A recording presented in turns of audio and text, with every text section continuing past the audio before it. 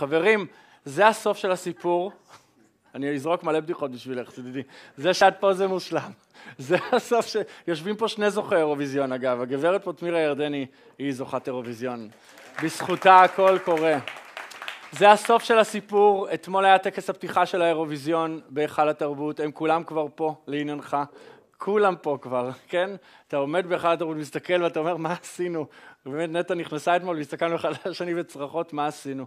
זה הסוף של הסיפור, כולם נורא מתלהבים, מתרגשים, טמאים, רוצים דאבל, אבל שוכחים מה היה פה מ-98 שדנה זכתה, ובערך משנת 2000 עד 2014 נוציא את שירי מימון כיוצאת מן הכלל.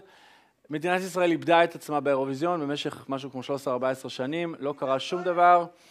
אני אחזור עוד פעם על מה שאמרתי. משנת 2000 עד שנת 2014, מתי יזהר היה? 78. ומתי עוד פעם יזהר היה? 85. איפה זה נכנס בין 2000 ל-2014? איבדנו. עכשיו חכי תראי עוד כמה דקות איזה כיף אני הולך לעשות לך עם יזהר כהן בחיים. אמ, בשנת 2000, אני ילד אה, שגדל ברמת השרון על אירוויזיונים, שלום יהודה, שלום אודי. זה ה-DNA שלי, שנות ה-70, שנות ה-80, זה מה שיש לי בדם. אני טוען שהמוח שלי, הבינה שבמוח שלי כווננה בזכות האירוויזיון לרגישות לשפות, כי בזמנו האירוויזיון היה בשפות מקוריות, לכתיבת לעיתים, כי השלוש דקות עושה משהו והפזמון החוזר עושה לך משהו, לרגישות לגיאוגרפיה, לרגישות באופן כללי לדבר הצבעוני והקרקסי הזה, אם נקרא לו ככה.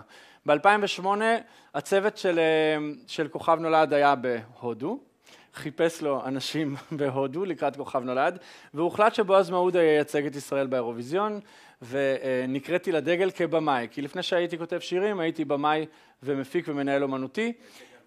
הייתי זמר, יהודה, בזכות יהודה גם התקבלתי לאיזה תחרות שירה. אמ, אני אנסה לקצר אותנו לטווח של הרבע שעה. זאת ישראל שאני מכיר מהאירוויזיון משנות האלפיים, אוקיי? כולם פחות או יותר, אני עושה את ההרצאות האלה למשל לאנשים שאינם דוברים עברית ואינם מפה, ואני שואל אותם דבר ראשון, אתם מסתכלים על הדבר הזה, אתם לא מכירים אף אחד, מה אתם רואים הכי בולט? מה משותף לכולם? תימן. לא, תימן זה כבר לדעת את המידע מבפנים, יהודה, יש לך מידע מבפנים. מה משותף לכולם? עיניים זרות, זה מה שמשנה, אירופאים מצביעים לנו, לא ישראלים. הצבעים, הכל נראה אותו דבר, אוקיי? אני ביימתי את בועז מעודה, את הראל סקאט ואת מורן מזור, יש לנו פה את אחינועם נינה ומירה עווד ויש לנו את מי פיינגולד. חלק מהאנשים האלה עלו לגמר, חלק מהאנשים האלה לא עלו לגמר, זה בכלל לא משנה. אנחנו לא מצליחים להשאיר חותם במשך שנים על גבי שנים, הכל נראה מאוד רשות השידור, הכל מכובד, הכל בחליפות, הכל שחור, וגם יהודים וערבים לדחוף להם לתוך האירוויזיון כי זה מעניין מישהו. אני מסתכל מהצד ואומר, כמה אנרגיה אנחנו משקיעים, כמה אנרגיה אנחנו משקיעים בללכת לאירוויזיון, לפחות שלושה חודשים של עבודה והמון כסף של תמירה ירדני. אבל אם אנחנו לא מצליחים להגיע להישג משמעותי ולהשאיר חותם, למה אנחנו עושים את זה? והאם יש מצב שיש משהו משותף בין כל המדינות האחרות שמגיעות להישגים מרשימים בתחרות הזאת? בשקף הזה אתם רואים מדינות שזכו מקום ראשון או מקום שני. עיניים זרות, אתם לא, נגיד אתם למשל, רובכם לא מכירים, אולי את קונצ'יטה אתם מכירים, את האחרים לא. מה משותף בשקף הזה? אינסטינקטיבי, אמרתם? צבעוניות ו... אם היה לנו זמן הייתי מראה לכם גם וידאוים, אבל המשותף פה זה הרבה מאוד שמחה וקצב ופשוט בולטות מארץ הבליטה, ההתבלטות, יש פה, כולם פה הגיעו מקום ראשון ומקום שני. הסתכלתי על הגויים במשך שנים על גבי שנים, כשהייתי כנראה הבן אדם היחיד בארץ שזה עניין אותו, אוקיי? באיזושהי צורה. ומצאתי שיש משהו משותף ביניהם, כמו שיש משהו משותף בינינו. הם עושים את, אה, לפני ההם, יש את ההם, את השוודים. שאני מאוד אוהב לדבר על השוודים, לרגע שכחתי מהם. הם ב-2010, הייתי עם הראל סקאט, אה, דווקא זה לא היה דרכך. 2010 אה, אנחנו עלינו לגמר עם הראל סקאט, ושוודיה לא עלתה לגמר. באותו הרגע מלכת שוודיה מכריזה על יום אבל לאומי ומורידה את הדגלים לחצי התורן. לא יעלה על הדעת שמעצמת הפופ שאבא נולדו באירוויזיון ב-74 ומקס מרטין מנהל את כל להיטי הפופ של העולם כבר 30 שנה, לא יעלה על הדעת שהם לא יעלו לגמר. כי התקבלה שם החלטה אמיתית של כל רשות השידור השוודית, שמאותו רגע שוודיה לא יורדת מ top five. בחמש שנים הם זכו פעמיים במקום ראשון, הם החזירו את התחרות הזאת בשנות האלפיים להיות רלוונטית. לוריין שרה את אופוריה, והגוי הזה ניצח את גולדנבוי, את נדב גדג'.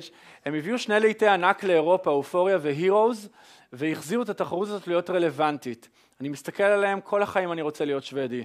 H&M, איקאה, וולבו, ספוטיפיי, מקס מרטין, אבא, רוקסט וכו' וכו' וכו' וכו'. כל החיים אני רוצה להיות שוודי, אני מרגיש שהם מבינים אותי כי אני מייצר לעיתים והם מבינים את זה. הם קמים בבוקר ועובדים בלייצר לעיתים.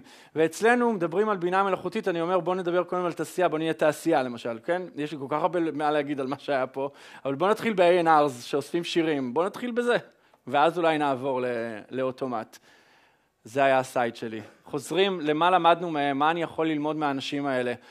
האזרבייג'אנים, האזרים, הגיעו לתחרות הזאת כאוטסיידרים והתחילו לשים המון כסף על הבמה על זיקוקים, ובזכות זיקוקים הם זכו באירוויזיון, אחרי שלוש שנים שהם משתתפים. הרוסים והאוקראינים, יש להם כל כך הרבה חוצפה, כל כך הרבה תעוזה, כל כך הרבה השקעה.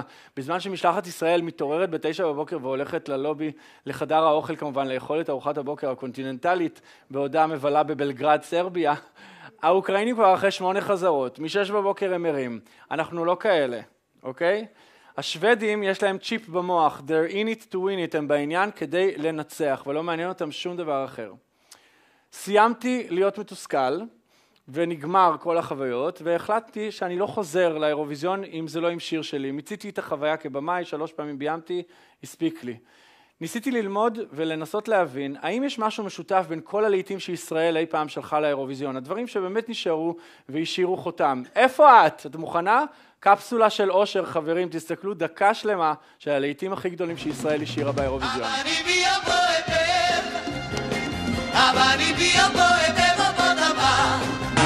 זה היה יזהר.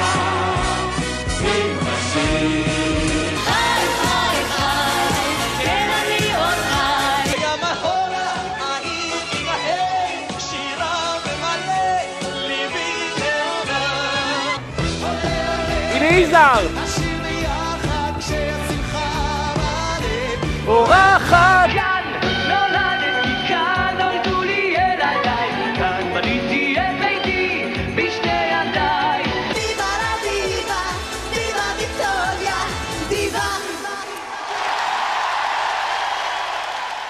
זה הפופ הישראלי חברים. מה משותף? להתחיל לראות ככה באינסטינקטיביים, לפצח DNA, בינה מלאכותית, בינה מלאכותית, בינה של אנשים. תראו איך אתם עכשיו מפצחים את ה-DNA של ישראל באירוויזיון. מה את אומרת? קצב, אנרגיה, שמחה. מה עוד? אנרגיה. תראו, הבינה המלאכותית של המצגת יודעת מה אתם אומרים, זה דבר מדהים. תנועה.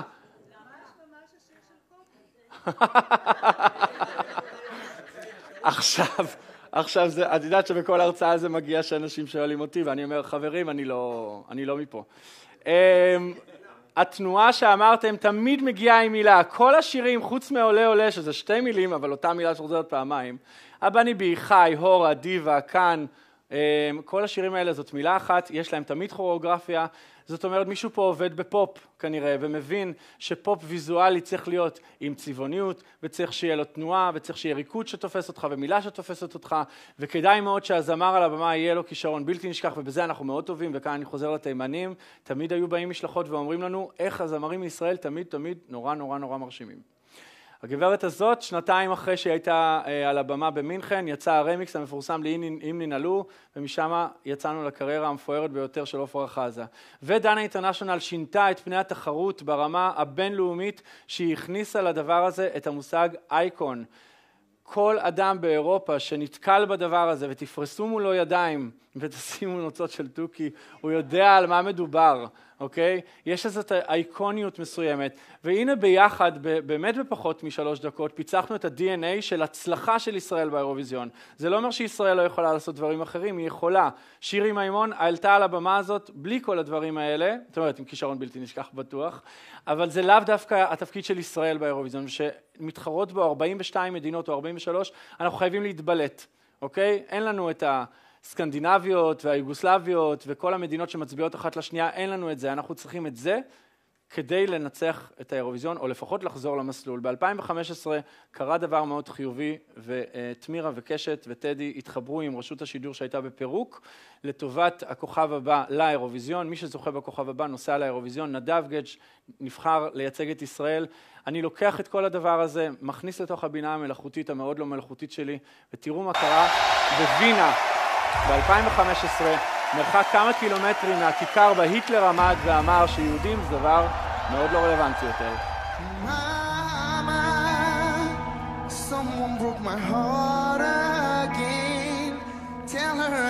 נסו לראות האם הסקנו מסקנות מהמתכון.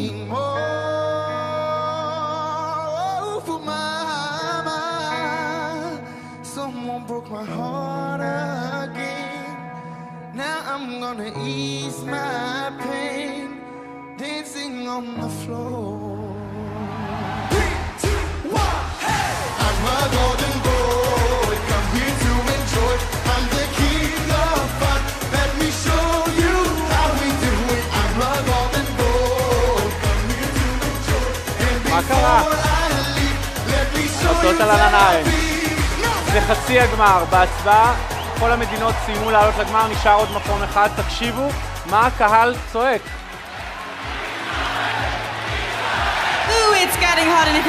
מעולם בהיסטוריה של האירוויזיון קהל לא צעק שם של מדינה.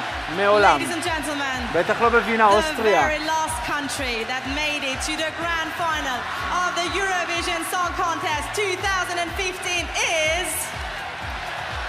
Israel! ותגובה אירופאית מאופקת.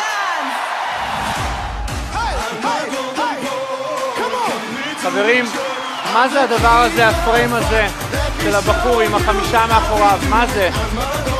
מה זה? זה הורה, זה חי, זה כאן נולדתי. זה השושלת של ישראל באירוויזיון, זה ההצדעה שלנו לאיפה שהיינו ולאן אנחנו רוצים לחזור. רצינו להחזיר את ישראל לתחרות, בסך הכל היינו צריכים להבין שהתחרות השתנתה. והנה, אנחנו עושים את הסלפי הראשון והיחיד בתולדות האירוויזיון, כי ב-2015, אפרופו בינה מלאכותית לא מלאכותית, המילה המדוברת ביותר בעולם הייתה סלפי. כי מישהו פה יושב ועושה מחקר אמיתי על פופ ועל מוזיקה כל הזמן, כל הזמן, אלה החיים שלי, וההתעקשות שלנו לעשות כל כך הרבה דברים, החל מלבוא עם תסריט שוטינג מוכן ולייצר שוטים כאלה כמו 3, 2, 1, ולעשות את התנועה הזאת שחוזרת ולהיות צבעוניים, וכשעלינו לבמה, מי שהיה בווינה באולם הזה לא ישכח את זה בחיים, עלינו לבמה לפני שהוא מתחיל לשיר נדב, היה כבר צרחות. אוקיי? זה שקהל צועק ישראל ישראל זה כנראה אומר שכל מה שמספרים לנו על אנטישמיות ו-BDS זה לא כל כך עובד באירוויזיון. זה יקום מקביל, תמירה הייתה שמה, היא יודעת את זה היטב. מדובר ביקום מקביל שלאו דווקא עובד לפי הכותרות של העיתון. ועדיין בחצי גמר הזה השוודים ממקודם ניצח את החצי גמר ואנחנו היינו מקום שני. מאז דנה אינטרנשיונל לא היינו מקום שני בשום צורה שהיא, ושם ישראל צריכה להיות.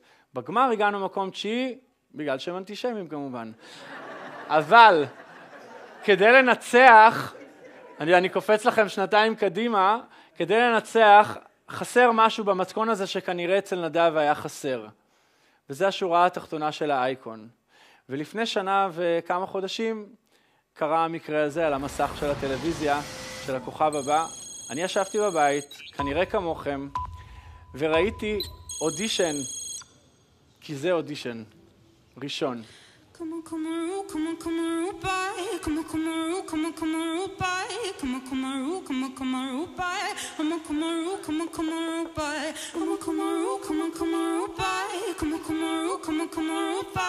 כמה קשה שאסי ורותם ישתקו. תחשבו על זה. איזה עוצמות יש לה.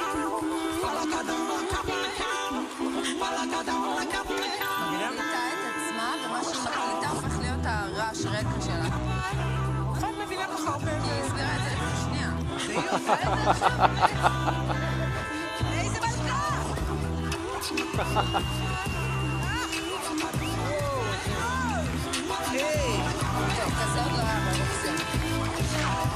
אוקיי, תנמיכו טיפה, אנחנו נשאיר את זה ברקע. עברה דקה. היא רק עכשיו התחילה לשיר, עברה דקה. אני יושב בבית ומסתכל על זה וצורח על הטלוויזיה עם עצמי. ככה מנצחים אירוויזיון. עד אותו רגע הייתי בטוח שאם זמר יבוא וישיר משהו מסולסל עם עברית וערבית ונביא איזה משהו אחר, ננצח באירוויזיון. אני רואה את זה, אני מבטל את הכל ואומר ככה, זוכים באירוויזיון. תמירה, עדה שלי, אמרתי זה גם לך, גם ליואב צפיר לאורך כל העונה, ככה מנצחים אירוויזיון. כל ה-DNA ממקודם נמצא בבחורה הזאת. מה זה? מה זה הדבר הזה? אה, מה זה? אני רוצה שאני מסתכל, ואני אומר, כל השופטים באירופה ייתנו לה נקודות. 50% מההצבעה היא דרך השופטים. קודם כל, כל צוות שיפוט באירופה נותן לה נקודות, זה אומר שאנחנו top five. קהל או שישנא אותה או שיאהב אותה, אי אפשר לדעת, אבל איך אפשר לא להתאהב בדבר המשוגע הזה? כזה אין, רותם אומרת, טוב, כזה לא היה באירוויזיון. אנחנו רוצים להתבלט? בואו נביא משהו שעוד לא היה באירוויזיון. היא לא נלעגת בשום צורה, חברים. היא מעולה פשוט. תראו אותה. תגבירו קצת. זה אודישן ראשון! זה אודישן ראשון, מה זה הדבר המטורף הזה? אני בחנתי עשרות אלפי אנשים בחיים האלה בגלל תמיכה. אף פעם לא ראיתי דבר כזה.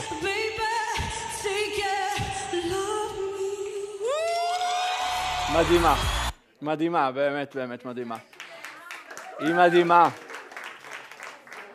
על טוי לבד אני יכול לדבר שעתיים, אז אני אה, רץ קדימה עם הבינה, אני יודע שזה please finish, ברור, יש לי שעון וזה, אני דווקא מהאנשים הממושמעים, אבל בכל זאת, אנחנו בטוי אפשרנו בעצם זרימה אדירה של סטרימינג אמיתי ברשת, שכל אדם יכול לקחת את הדבר הזה ולעשות מה שהוא רוצה.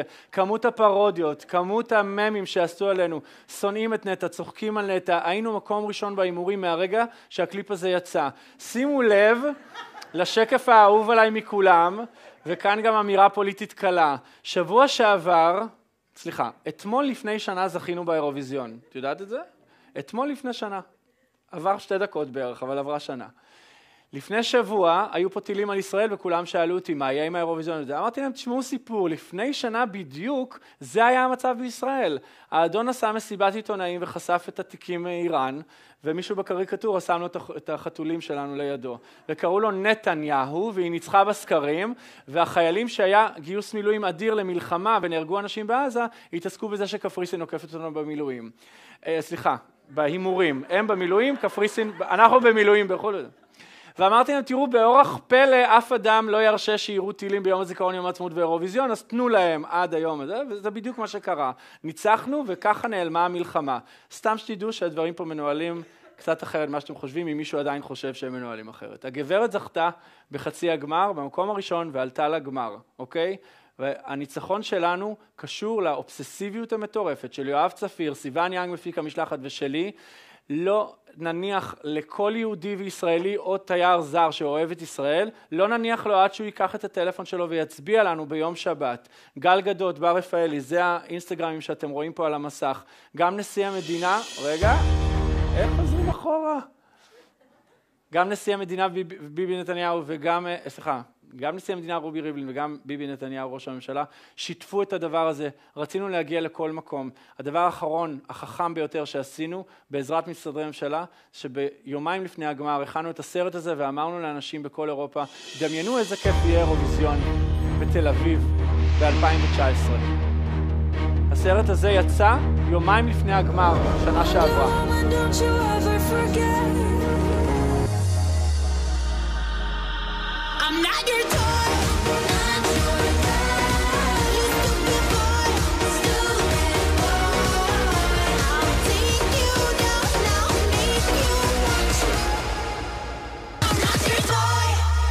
This is how we do it, מאיפה זה?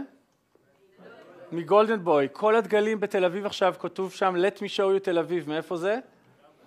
הבינה המלאכותית המאוד לא מלאכותית החליטה להשתלט על התודעה של אירופה ושותלת שתלים, שתילים, צ'יפים בתוך המוח שנים לפני הניצחון ואומרת אנחנו הולכים לנצח את האירוויזיון מתישהו ממש בקרוב חברים.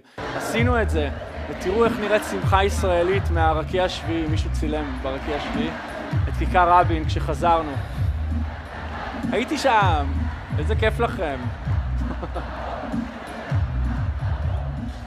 תגבירו קצת.